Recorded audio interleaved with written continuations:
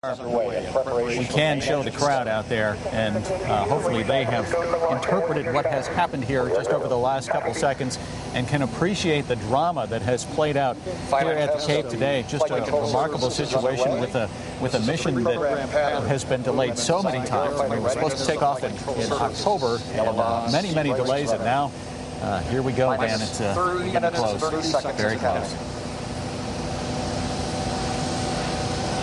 All right, we're down to three and a half minutes to go. Surface checks are complete. Discovery's three main engines will be gimbaled through a pre-programmed series of maneuvers as a final test before launch.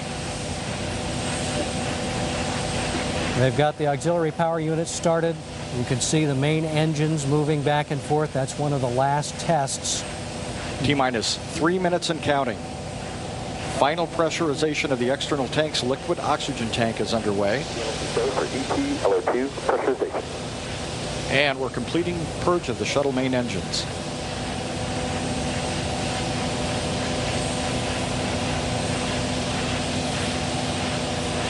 So it was last November 5th. TLT OTC, clear caution warning memory. That we got almost this far. They started to fill the shuttle's tank. TLT and work. You know, initially Discovery was supposed to go in September, then it was October, mm -hmm. then it was November 5th.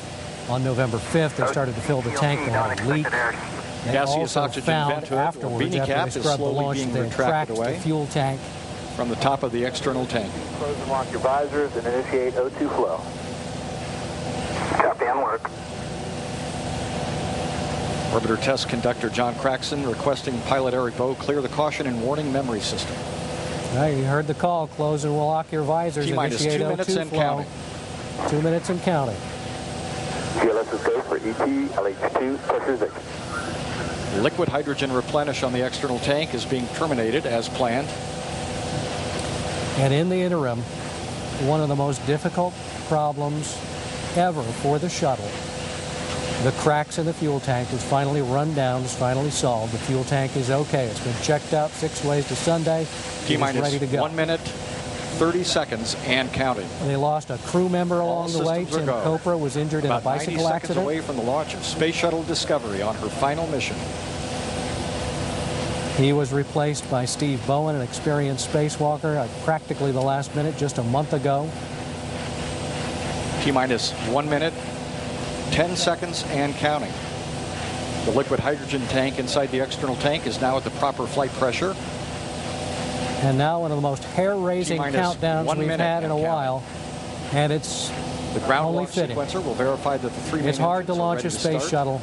This will be the last time Booster joint for are being deactivated The very last time. time. T minus 48 seconds, and we're transferring to orbiter internal power. Discovery is now running on a, it's, uh, three onboard fuel cells. And at 31 Coming seconds, up on a go for auto sequence start at T minus 31 seconds. they'll turn over the countdown to the computers now. GLS is go for auto sequence start. And we have a go for auto sequence start. Discovery's onboard computers have primary control of all the vehicle's critical functions. Six lives on the line. 20 seconds And we're all hoping The Discovery's last water flight system is a safe one. has been activated, protecting Discovery and the launch pad from acoustical energy waves. Go for main engine. Go for main engine start. We have main engine start. Two, one. Booster ignition and the final liftoff of Discovery. A tribute to the dedication, hard work, and pride of America's space shuttle team. The shuttle has cleared the tower. This is Mission Control Houston. The space shuttle now rolling over onto its back 7-minute ride into orbit. Discovery now making one last reach for the stars.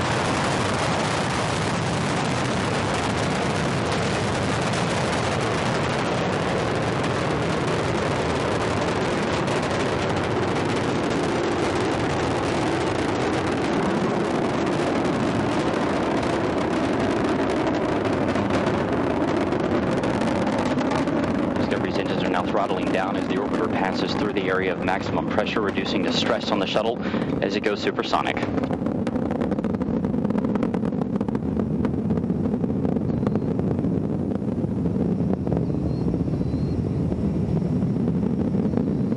Discovery Houston, you are go at throttle up.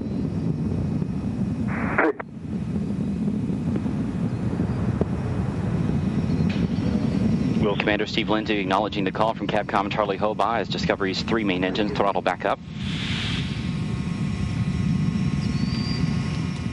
Lindsey is joined on the flight deck by pilot Eric Bowen, mission specialist Al Drew, and Nicole Stott.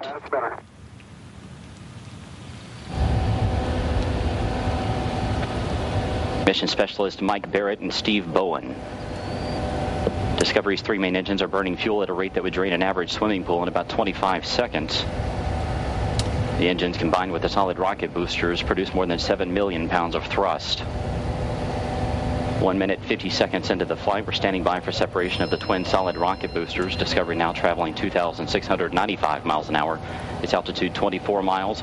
Downrange from the Kennedy Space Center 29 miles.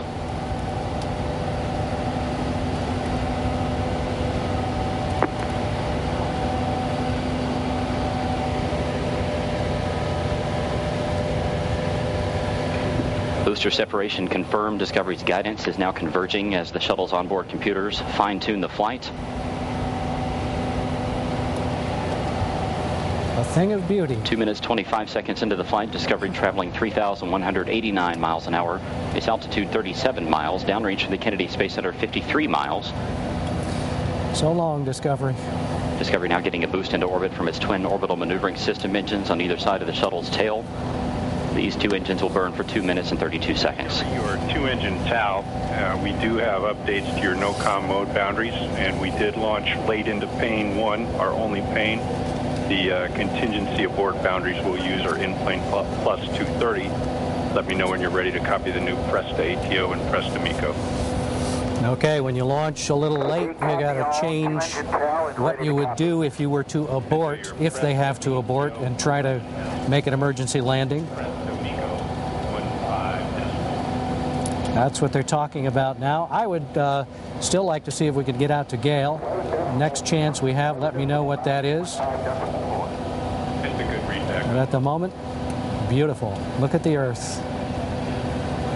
Discovery on its way to a perch 220 miles high. Emergency landing sites in Europe should one of the engines fail, but all three engines continue performing as expected.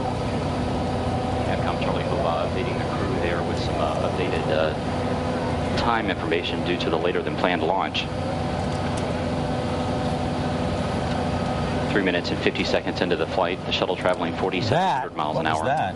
That is something that came off and hit the space shuttle, Discovery, and you you clearly saw it. Boom, Negative return. bounce off the shuttle a couple of Discovery now times. traveling too high and too fast to return to the Uh, Kennedy Space that's going to be a matter an of engine concern. failure. Let's mark that. main engines continue Let's try to get that replayed if we Shuttle now traveling can. 5,200 miles an hour. Its altitude 62 miles, downrange from the Kennedy Space Center 170 miles. All right. It actually probably is not a problem because they're already high enough that there's not enough air uh, to uh, to to move a piece of debris fast enough to hit the shuttle hard enough to damage it. It fluttered. You could see it sort of flutter as it Yeah, it, it didn't go very fast. Yeah, exactly. It didn't go very fast, and that means uh, Four minutes 45 seconds. into we can hope that it didn't do any damage, but if it did do miles an hour, damage, that's a big deal. 66 miles. It was right at about four minutes, ten seconds into launch. 229 miles. And so we got to try to turn that around and replay that for you if possible. Jones and his team continue to monitor the progress of Discovery's flight. Uh, All systems are continuing to perform as expected. After main engine cutoff, it's an eight and a half minute climb for Discovery into the blackness and the vacuum of space with the bright blue Earth below. You are watching live a camera mounted on the fuel tank of Discovery Discovery, you are pressed to ATO. as we accelerate together ATO. To a speed nine times faster than a rifle Call bullet. Capcom Charlie Hobaugh indicating that Discovery has enough energy to make it to a lower than planned orbit should one engine fail at this point. However, all three engines continue to burn as expected.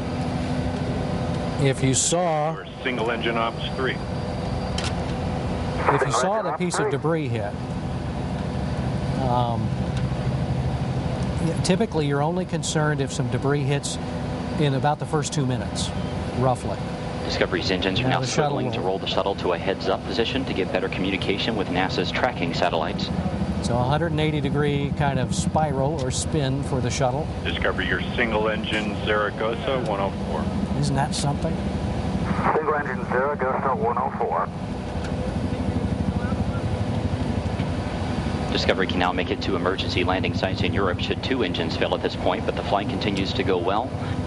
6 minutes 24 seconds into the flight, the shuttle traveling 9,800 miles an hour.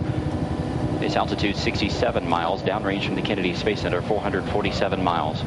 MECO, BIM for you, nominal shutdown on all three, and Pinto, you'll be go for the plus X and go for the pitch. If we can get to it in the next two minutes, MECO, nominal shutdown. I was very interested in something that uh, the launch director Mike Leinbach had to say. A call from Capcom Charlie About Hobaugh indicating that Commander Steve Discovery. Lindsey has to go to press to main engine cutoff as expected in about a minute and a half. talking about all the thousands of people who, who truly love the space shuttles, especially this one, you are the hardest working press. orbiter. 38, now 39 missions, and that's it.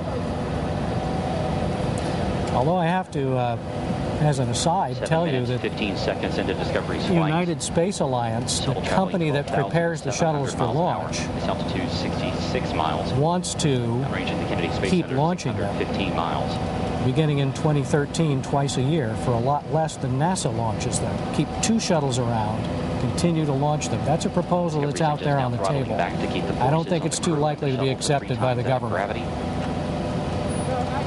Shuttle traveling 14,000 miles an hour.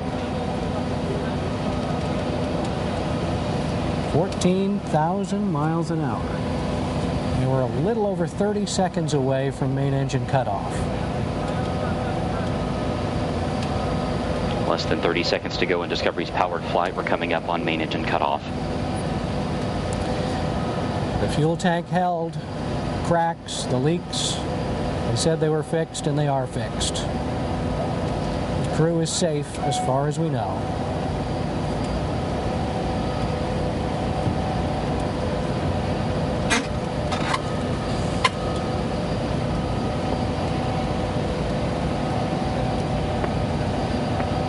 Main engine cutoff confirmed. Space Shuttle Discovery now in space.